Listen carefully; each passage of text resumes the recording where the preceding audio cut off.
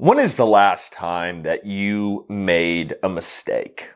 And when I say mistake, I don't mean, oops, I forgot to take the trash out. Now we're just gonna have a whole bunch of Pop Tart wrappers and fruit snack wrappers from our kids the whole week. No, I'm talking about a mistake where your brain stops working, right? I mean, maybe you had a really bad hangover or maybe you just had a brain fart we all have them, but they are a very uncommon occurrence. So on those very few times where your brain stops working, we call that negligence, right? Because your brain was not there to comprehend what you were doing.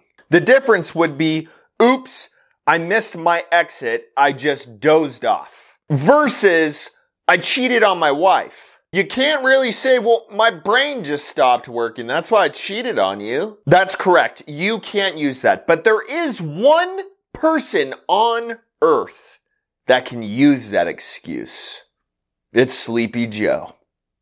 Why?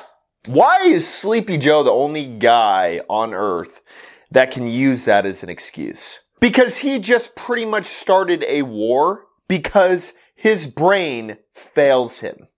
It does not work. Putin and Russia have a big stick. They get a whole bunch of nukes, whole bunch of tanks, whole bunch of whatever you want. And then you take Sleepy Joe and you watch the babble crap that he goes and speaks on the podium. I mean, you're pretty much just giving Putin's plan a Viagra at this point. They already got troops stationed on the Ukraine border. They just got armored vehicles set up right there, ready to invade. Now, I'm just as curious as most people. How is it that Russia has such a big stick right now when the US has kind of kept them in check for a long time? What is the one key difference? Oh, that's right, because the dude in office right now is a total dumbass. He gets up on his podium the other day and is babbling away as usual, saying stuff that's just not true and that doesn't make sense at all. And then he gets to the point of Russia about to invade Ukraine. And he brilliantly,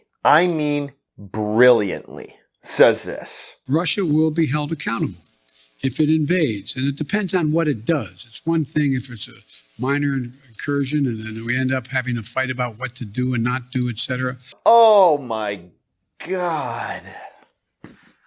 So if it invades and then you add in, it depends on what it does. Do you think Russia is going there just to go pick out a few oranges from their grocery store? I don't know, take a look at some real estate. It's not like they have that much land in Russia. What do you think they are planning on doing? They have 200,000 troops at the border. You thought it would be a good idea to say, well, it depends on what they do. I guess we'll see. That's a great way to stop an invasion. So look, we've made fun of Sleepy Joe quite a bit and it's well deserved. But now it's causing wars. Russia is going to invade Ukraine. And if there was any hope in stopping it, it was this speech. It was, do not invade Ukraine. They are an ally of ours. You attack them, you're attacking us.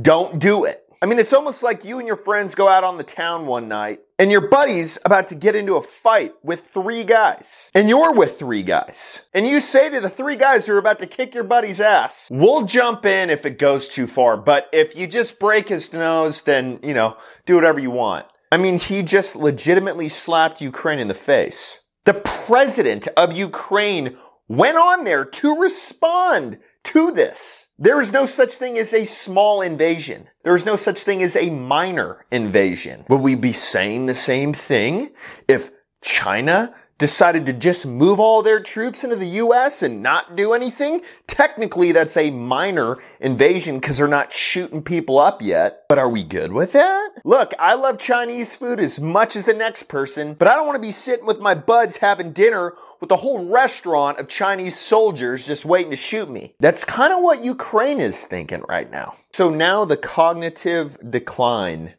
is causing a war. God help Ukraine, and God help our troops who are bound to be sent out to Europe after this, because who knows what Russia's going to do to them.